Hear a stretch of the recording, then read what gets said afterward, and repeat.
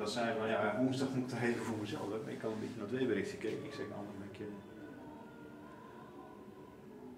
je mannelijkerwijs eh, in de bonen. Eh.